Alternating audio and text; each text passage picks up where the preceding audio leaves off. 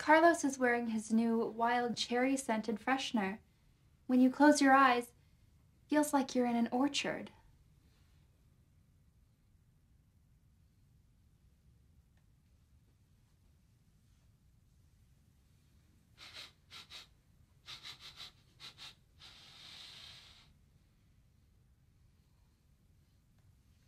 Fruity.